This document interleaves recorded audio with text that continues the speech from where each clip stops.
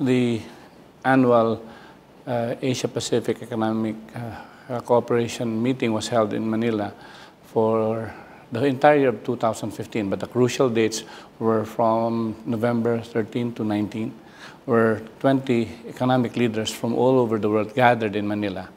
It was APEC security backed up by Interpol technology that made sure that we will not have any problems, hitches, or any situation that would arise. It was through the program that was handled by, by Interpol through the EU-ASEAN uh, cooperation. And the main technology provided was for the Philippine government through the Bureau of Immigration to interconnect with the Interpol database. That was a huge task.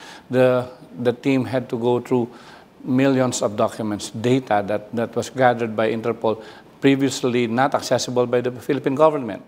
And due to the program given by EU, ASEAN, and, and uh, IGCI for that matter, we were able to gather enough information so that the, the security of the entire conference will be, will be assured. I can't thank Interpol enough for, for the help extended, for the assistance given to the Philippine government.